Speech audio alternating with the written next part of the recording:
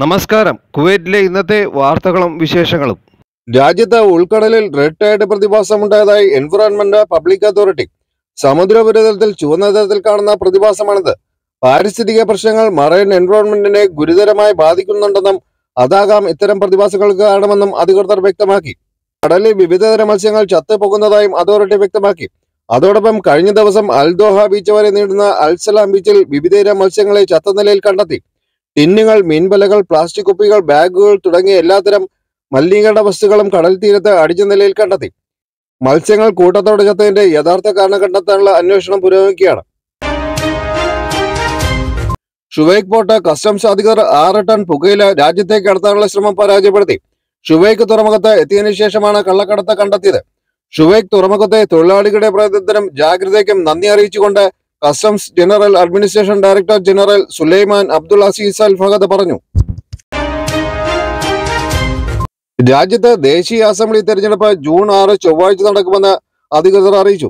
തെരഞ്ഞെടുപ്പ് ദിവസം രാജ്യത്തെ എല്ലാ സ്ഥാപനങ്ങൾക്കും മന്ത്രാലയങ്ങൾക്കും പൊതു അവധി പ്രഖ്യാപിച്ചു.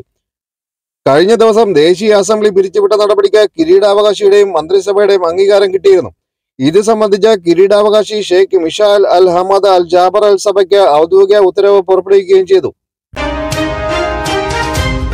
ഈ വർഷം മാർച്ച് മുപ്പത്തൊന്ന് വരെയുള്ള കാലയളവിൽ രാജ്യത്തെ എണ്ണൂറ്റി അറുപത് ഡ്രൈവിംഗ് ലൈസൻസുകൾ പിൻവലിച്ചതായി ജനറൽ ട്രാഫിക് ഡിപ്പാർട്ട്മെന്റ് അറിയിച്ചു.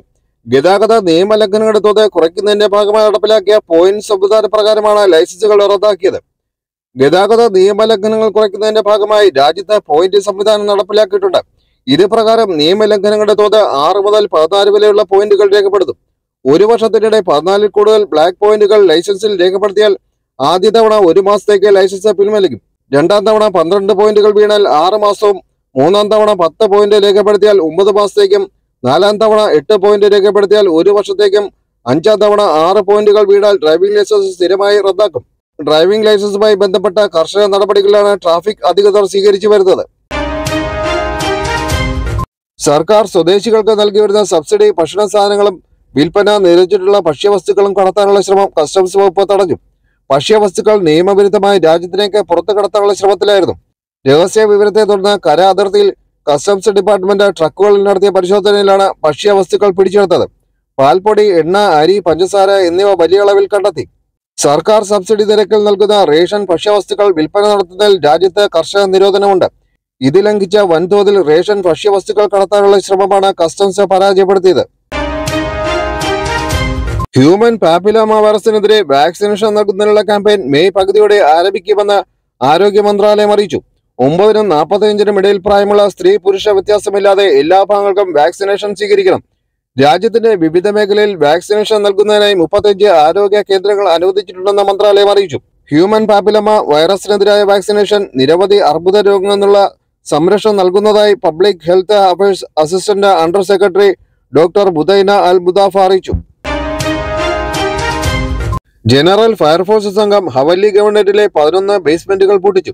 സുരക്ഷ അഗ്നി പ്രതിരോധ ആവശ്യകതകൾ ലംഘിച്ച സംഭരണ കേന്ദ്രങ്ങളായി ഉപയോഗിച്ചു വരുന്ന ബേസ്മെന്റുകളാണ് പൂട്ടിച്ചത്.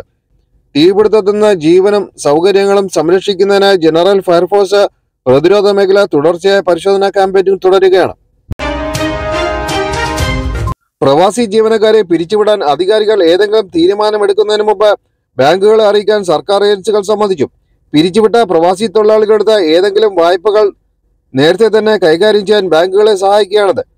താമസക്കാരുമായി നേരിട്ട് സമ്പർക്കം പുലർത്തുന്ന വൈദ്യുതി ജലമന്ത്രാലയം പോലുള്ള വിവിധ സേവന മന്ത്രാലയങ്ങളെ ഇത് അറിയിക്കണമെന്നും സർക്കാർ ഏജൻസികൾ സമ്മതിച്ചു പിരിച്ചുവിട്ട പ്രവാസി ജീവനക്കാരെ കുറിച്ച് ബാങ്കുകളെ അറിയിക്കുകയും വായ്പകൾ നേടിയെടുക്കുകയും ചെയ്യുന്നതിനായിട്ടാണ് ഈ തീരുമാനം. കടബാധ്യതകൾ തീർക്കാതെ ഇത്തരം ജീവനക്കാർ രാജ്യത്ത് നിന്ന് പോകുന്നത് തടയാൻ ജീവനക്കാരുടെ അക്കൗണ്ട് സസ്പെൻഡ് ചെയ്യുന്നതിലൂടെ ബാങ്കിന്റെ സാമ്പത്തിക സ്ഥിതി സംരക്ഷിക്കുകയാണ് ലക്ഷ്യം. രാജ്യത്ത് അനാശാസ്യ കേസിൽ സ്ത്രീകൾ ഉൾപ്പെടെ ഏഴ് പ്രവാസികൾ അറസ്റ്റിൽ. മെഹബുലയിലാണ് സംഭവം നടന്നത്. മൂന്ന് പുരുഷന്മാരെയും നാല് സ്ത്രീകളെയുമാണ് പിടികൂടിയത്. ഇവർ പണം ഈടാക്കി അനാശാസ്യ പ്രവർത്തനം നടത്തിയതായി അന്വേഷണ സംഘം കണ്ടെത്തി. ഇവർ നിയമ നടപടിക്കായി പ്രതികളെ ബന്ധപ്പെട്ട അധികാരികൾക്ക് കൈമാറി. ഇന്നത്തെ സ്വർണവില ഒരു ഗ്രാം ഇരുപത്തിനാല് കാരറ്റ് ഇരുപത് കേടിയും ഒരു ഗ്രാം ഇരുപത്തിരണ്ട് കാരറ്റ് പത്തൊമ്പത് കേടി നൂറ്റി അമ്പത് പിൽസും. ഇന്നത്തെ വിനിമയ നിരക്ക് ഒരു ദിനാറിന് ഇരുന്നൂറ്റി അറുപത്തിയേഴ് രൂപ. ഇന്നത്തെ വാർത്തകൾ സമാപിച്ചു. നന്ദി നമസ്കാരം.